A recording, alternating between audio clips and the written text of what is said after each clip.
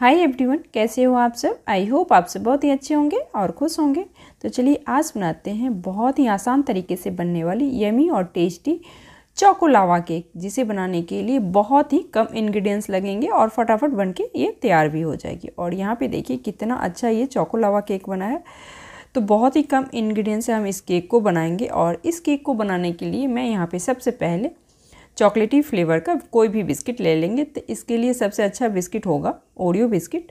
तो यहाँ पे सबसे पहले मैंने ओरियो बिस्किट को पैकेट से निकाल करके एक बोल में रख लेंगे। और यहाँ पे मैं छोटा वाला पैकेट यूज़ कर रही हूँ, ओरियो का जो छोटा पैकेट आता है तो उसका मैं यूज़ कर रही हूँ तो इसलिए मैं दो पैकेट ले रही हूँ। अगर आप बड़ा वाला पैकेट यूज़ करोगे तो एक पैकेट इनफ हो जाएगा इसके लिए। तो यहाँ पे सबसे पहले पैकेट से निकालने के बाद हम सारे बिस्किट को अपने हाथों से तोड़ लेंगे छोटे छोटे पीसों में। आप चाहो तो इस बिस्किट को ग्राइंडर जार में डाल करके ग्राइंड भी कर सकते हो मतलब अच्छा सा एक पाउडर भी बना सकते हो, बट मैं यहाँ पे ग्राइंडर आज यूज़ नहीं करने वाली हूँ। तो बिस्किट के ऊपर मैंने डाला है दो छोटी चम्मच चीनी और चीनी डालने के बाद इसमें जाएगा वन फोर्थ कप मिल्क और इन तीनों को हम एक साथ अच्छे से मिक्स कर लेंगे। तो यहाँ पे देखिए इस तरीके से हम इसे मिक्स कर लेंगे और ये जो दूध है मतलब मिल्क मैंने बॉयल कर रखा था और रूम टेम्परेचर पर कर लिया था। केक बनाने के लिए कभी भी कोई भी चीज़ गर्म नहीं यूज़ करना होता है, सबको हम रूम टेम्परेचर पर करके ही यूज़ करेंगे। तो अच्छे से मिक्स करने के बाद यहाँ पर डालेंगे वन फोर्थ चम्मच बेकिंग सोडा। आप इसकी जगह इनो का भी यूज़ कर सकते हो। तो इसे डालने के बाद हम फिर से इसे अच्छे से मिक्स कर लेंगे। और यहाँ पे देखिए, एकदम अच्छा सा ये पेस्ट बन के तैयार हो गया है।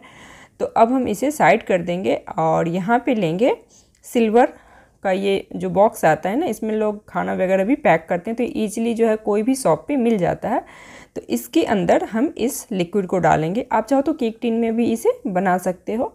तो इस लिक्विड को इसमें डालने के बाद यहाँ पे मेरे पास है चॉकलेट और चॉकलेट को हमने छोटे छोटे पीसों में कट कर लिया है और इसके सेंटर में हम इसे डाल देंगे। यहाँ पे कोई भी चॉकलेट आप यूज़ कर सकते हो, जैसे डेरी मिल्क हुआ या डार्क कंपाउंड चॉकलेट है, अगर आपके पास तो उसे भी आप इसमें कट करके डाल सकते हो। और अब हम इसको अच्छे से कवर कर देंगे और कवर करने के बाद अब हम इसे बेक करेंगे। तो चलिए हम इसे बेक करते हैं और मैंने आज बेक किया है माइक्रोवेव में।